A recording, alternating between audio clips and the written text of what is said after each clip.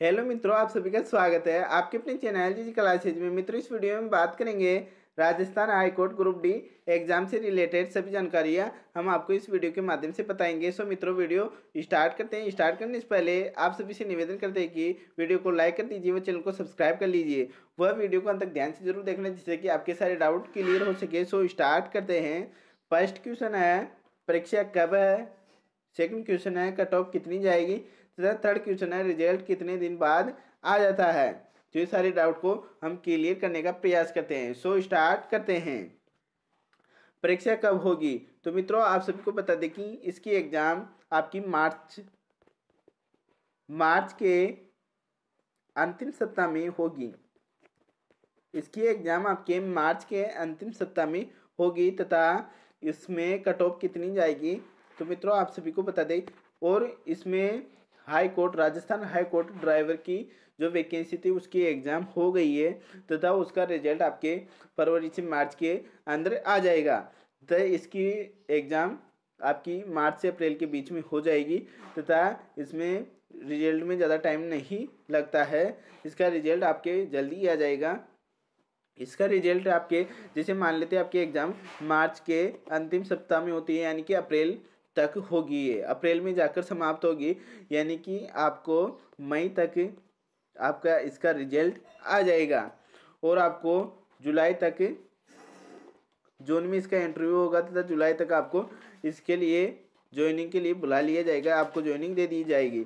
लेकिन बात करें इसमें कट ऑफ़ कितनी जाएगी तो कट ऑफ़ की बात करते हैं तो जनरल में आपके इसमें पिचासी नंबर का पेपर होगा।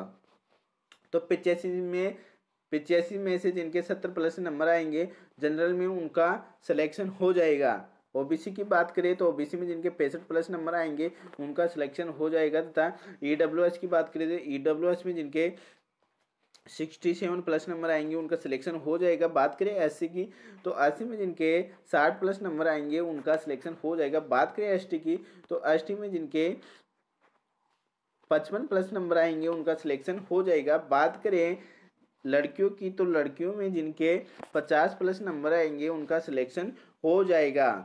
तो इसमें बात करते हैं।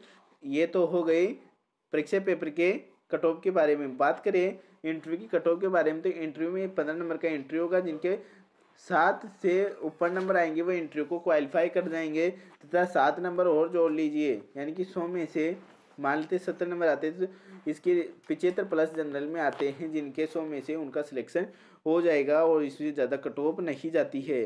तथा इसका रिज़ल्ट में आपको ज़्यादा टाइम नहीं दिया जाएगा इंटरव्यू का रिज़ल्ट जल्द ही आ जाता है।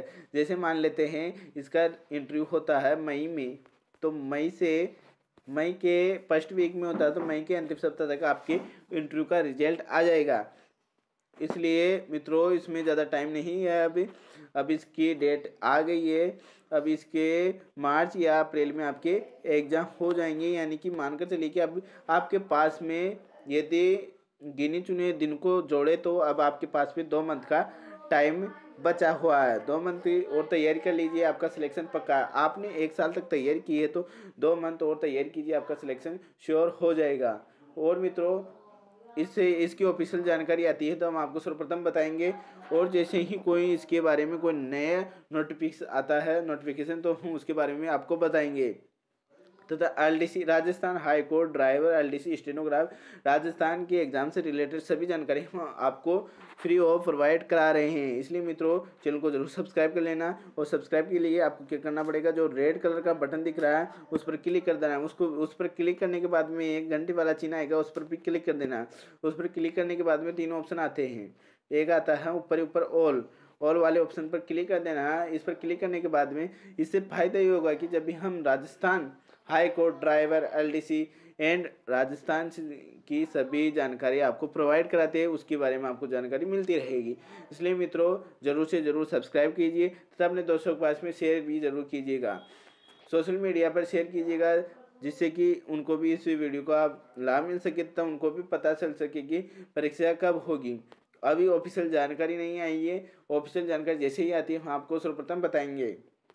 इस वीडियो बनाने का मकसद ये था कि आप यदि आपने एक्सेल से तक तैयारी की है तो दो महीने और कर लीजिए, क्योंकि आपके दो मंथ शेष बचे हुए ज़्यादा टाइम नहीं है अब। इसलिए आप अपनी तैयारी को रेगुलर बनाए रखिए, जिससे आपको फ़ायदा मिले। धन्यवाद दोस्तों, वीडियो को लाइक कीजिए और चैनल को सब्सक्राइब कीजिए। धन्यवाद दोस्तों।